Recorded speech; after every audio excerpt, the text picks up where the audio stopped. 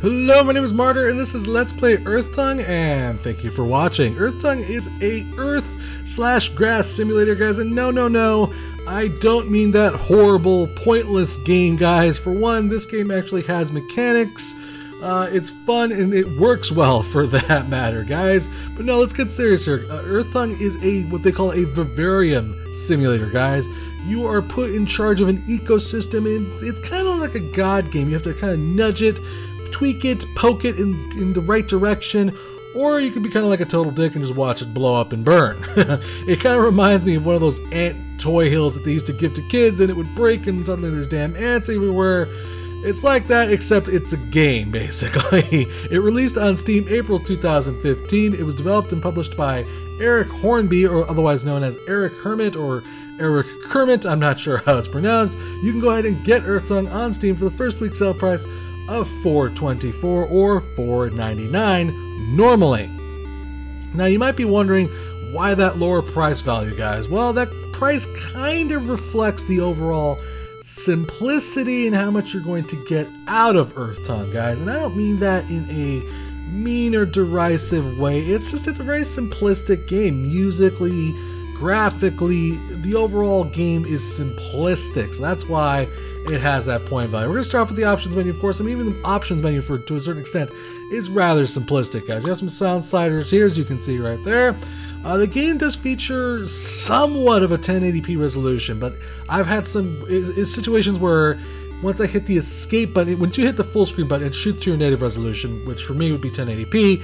Um, but then as soon as you hit the escape button in the game, it kind of just jacks up the resolution. So for the most part, you're going to want to keep it in that 1280 to 720 range.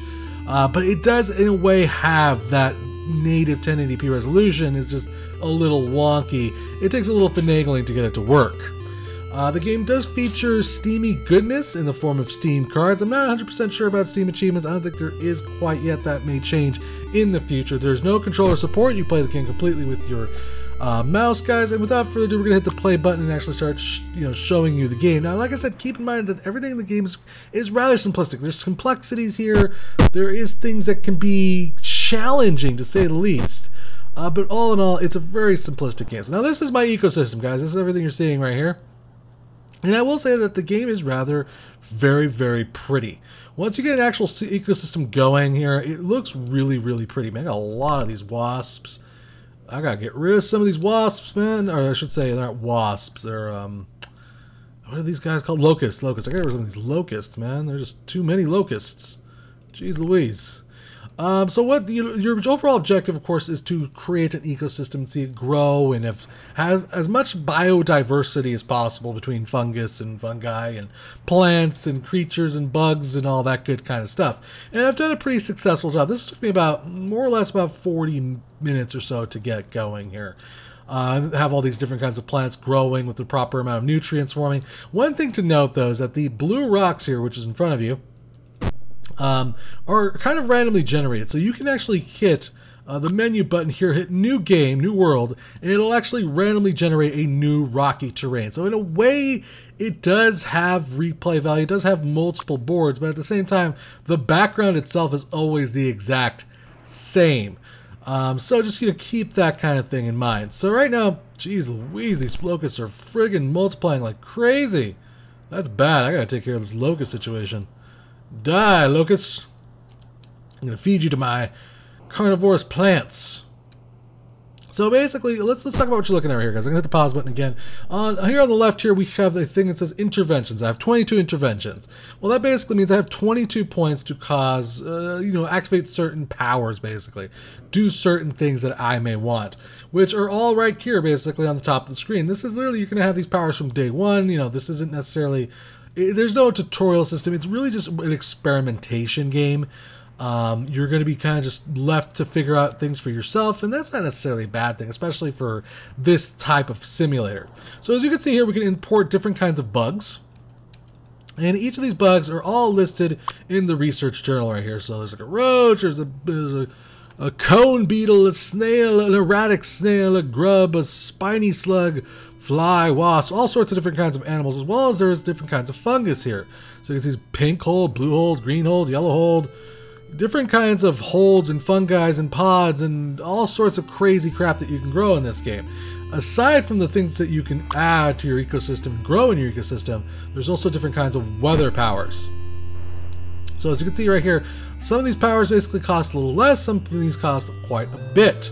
And they all do a little bit something else. Like this one, for instance, causes nutrients to fall from the sky towards your plants or your your your your pods here, which are actually kind of dying right now. I just realized, which is bad. Get off of them, locusts! You little bastard locusts! Get over, eat the blue stuff. The blue stuff grows fast. You stay away from that locust. Locust, you're pissing me off. I have a locust infestation right now that I need to get get rid of. Well, actually, I'm using it to feed my carnivorous plants, I should say. Uh, which, yeah, there are all different kinds of plants, which is also really neat. Some of them just kind of grow differently. All of them have their own unique rules to growing. They're all their own different ways of going about things, which you can find out in the research journal. There's also like little entries here that kind of, in a way, present a story to you about what's going on. So let's let's uh, let's hit the pause button again. I'm gonna do that right now. We're gonna hit the pause button again. We're gonna look at different kinds of look at like brown mold here. Basically, it's gonna give you information about that brown mold, what that brown mold uh, how it's gonna its optimum way of growing in an environment, or that's what it's gonna need, where it's gonna do well, what its weaknesses are. It does a really good job of kind of explaining what each of their weaknesses are, what's good about these particular type of plants or bugs or whatever have you, and what's bad about certain ones. Obviously, like meteors, for instance, are obviously very bad. They kind of burn things. Uh, there's a whole explanation of what meteors do here.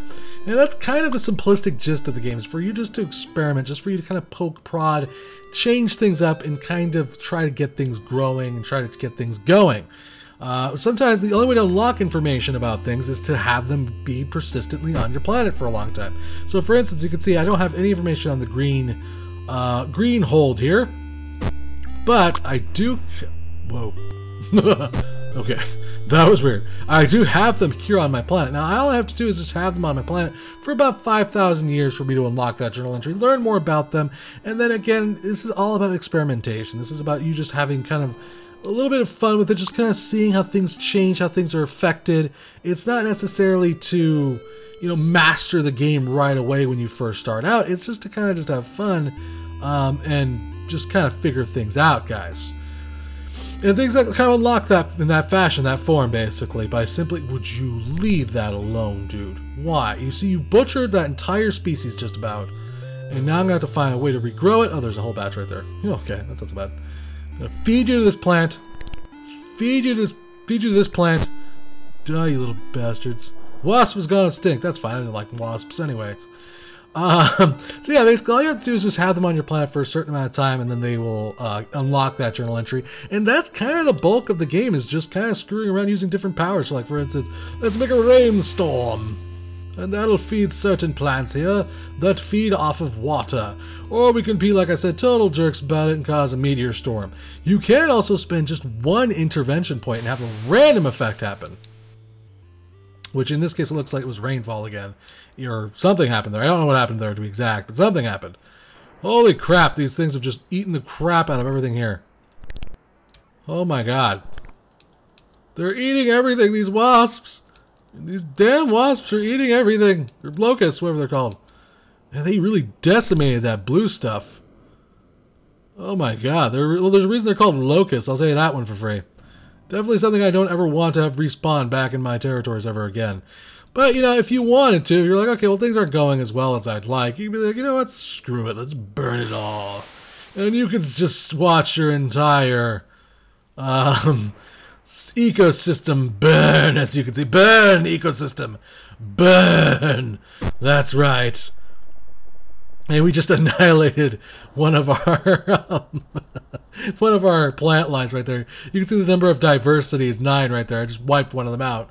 Uh, but you know, you have that option. It's really up to you how you want to go about things. Not only that, I mean, there's even more complexity to it because there's underneath the surface of these plants. excuse me are nutrients, and these nutrients will eventually get used up. They will eventually die out. You need to be careful in how you plan your ecosystem. You can specifically have, whoops, have certain plants put into your ecosystem. Uh, so for instance, like I just got rid of the green hold. Let's, I think we could find the green hold again. Kind of flip through the options here. That looks like green hold. We can basically say, well, I didn't want to destroy the green hold. Let me see if I can get them back. And then green hold little pods will start falling from the sky. There's a little bugger right there. He's like, and he's just going to fall slowly to the earth. We've used all of our intervention points though. But you get more intervention points by, of course, time passing. And there's one thing I will say, one thing I do like about uh, Earth Tongue here there's a lot of options to pass time. So as you can see right there, I'm just hitting super fast forward. Things are going by really fast. And this is kind of just a way of just seeing how your ecosystem performs in a very quick fashion. Uh, which in this case, it looks like, uh, you know, it's, it's going okay. It could be better. Could be going worse. Uh, Greenhold going at stake. That didn't work out. They did not catch on. Poor little guys. We'll grab these guy's body and feed them to the plants. There we go. Uh, and that kind of is kind of the basic gist of Earth Tongue. That's how you play Earth Tongue. It's a game that isn't necessarily going to lose. I mean, there is a way of losing, which I guess it would be in this case your entire ecosystem failing and you having to start all over again, but you're always going to be earning intervention points. You're always going to be able to nudge things in the right direction to get things working again. It's not necessarily, like I said, a game you can lose. It just all depends on how fast, what your goal is, and where you want to get the game going to. That's basically it. Sometimes random events will occur, by the way. Um, random, you know, things will fall from the sky.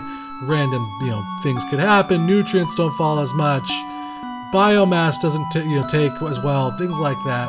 It's all random sometimes uh, as to what happens. And like I say, it's, it's, this is a good game to have kind of running in the background, just to have you know look at it occasionally, see how things are going, and maybe just like okay, I'll just drive a have a quick nutrient fall happen really quick, or a rainstorm or something to that effect, just to help things along. I just burned most of my my landmass by burning it like I did earlier, but I just wanted to show you that there's a lot of ways, different ways to play the game here.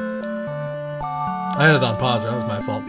But yeah, there's just a lot of different ways to play the game here. It's a good game, just like I said, to have growing in the background, listen to it basically playing, and then just come around occasionally hit a button, see if things change. And of course, you have that overall goal of unlocking all those journal entries, which is not necessarily to say the easiest thing in the world. But the beautiful part is, is you don't necessarily have to restart a new game to unlock all those journal entries. You can just simply just um, unlock them by just you know playing the game. You can start a new game and have it do a different environment, and that may change things. There's rocky terrains. There's different kinds of um, my God, so many things are dying now. So many different kinds of uh, terrain that can form, different kinds of things that could change the way the ecosystem works. And that's kind of the beauty, that's the kind of fun of Earth Tongue, guys. It's not necessarily a high-paced, high-stress game. It's rather simplistic, to be honest with you guys. Uh, and that's why I said the price matches the simplicity of the game, guys. Um, so yeah, I mean, if you're not a person who doesn't enjoy experimentation, you may not get as much as you would like out of this game. Man, those wasps are really just eating the shit out of everything. They're gonna wipe themselves out at this rate. They're gonna eat everything and they're gonna die. Man, I will say this terrain is rather large though too. Here, feed him to this thing, you little bastard. Come here, come here, come here, come here, you wa you little locust dude. I keep calling them wasps. Well, wasps and locusts kind of look the same in this game. There we go. He's dead. Here, feed you to this one. There you go. These are man-eating plants, or I should say, you know, bug-eating plants. When they basically eat something, they shoot spores up into the sky, and that kind of how they spread. It's really neat. It's a good way of controlling uh, population of different kinds of creatures. You can also see there's little vines that are growing into the plant, the earth there, gathering nutrients, not necessarily just from the outside, but from underneath the surface. It's really neat. It's really well done. It, it's it's complicated but simplistic, which is what's really the the highlight of Earth Tongue. Is yes, there there is quite a different amounts of pods and fungi and plants that can grow, and you just have to learn how to you know create that careful balance slowly but surely. Let's go ahead and add some randomness here. Let's go ahead. Random! Pink, pink shroom is falling from the sky. Where's it falling towards? Pink shroom. Okay, we'll, we'll let it fall. I think that's it right there, isn't it? Is that it? Let's see. When it hits the ground, it should change the ground color. Uh, let's give it some nutrients. Give it some nutrients. Here's some nutrients. I don't know what it's doing there. Don't you... Oh, you little bastard! Oh, you little... You see what he did? Did you see what this little prick did? What I'm holding right here? You're gonna die. I'm going to feed you to my carnivores. You little prick. he totally just trolled me right there. He just completely just ate it for no reason. What a jerk. Anyways, this at least this is doing pretty well, guys. I, I think that gives you the basic idea of what uh, what to expect from this game, guys. It really does. It's very well made. There really isn't any bugs to speak of, other than that weird resolution control things. Kind of, it kind of has like a weird. It kind of bounces around in resolutions, but otherwise, I mean, it's a simplistic game. It's a fun game. It's a definitely different type of game. Um, it's a more calmer game. Like I said, it's game just kind of like you know you're doing your bills or watching YouTube videos, and it's good to have there on the side, and you know, you know, occasionally, you know, shoot a rainstorm down or whatever have you, whatever you want to do. Uh, it's good for that type of gameplay, essentially, and I think that's what it's gonna really excel at. Um, and people who really get into it kind of hardcore and looking to kind of master it, they're gonna have a challenge there as well because the ecosystem is not easy to, you know, master, as it were. It's difficult. And that's kind of everything I have to say about Earthtongue. Uh, as far as you know, you know, music and graphics and all that goes, pixel graphics, it's adorable. I'm so happy they're dying out finally. Those little bastards who ate my poor little plant. Oh, my little man eaters are dying out too, though. I just realized. Oh, hold on, here, here, come here. You gotta die. There's more of you out there, so you'll be fine. Looks like they're humping the plants. Um, the music can be a little, it, it gets a little repetitive at times. But it's enjoyable. I enjoyed the music. Uh, overall, it didn't get too grating on my ears. And it has that little chip tune, adorable graphics and music. It's pretty simplistic and easy to control. I also forgot to mention there is terraforming powers, by the way. You can kind of double click or... Hold on, uh, am I doing the right one? Is it this one? Uh, right click, left click. Those terraforming planets. Way to terraform planets and kind of change the environment up. Uh, so that way you can have things growing in a particular way.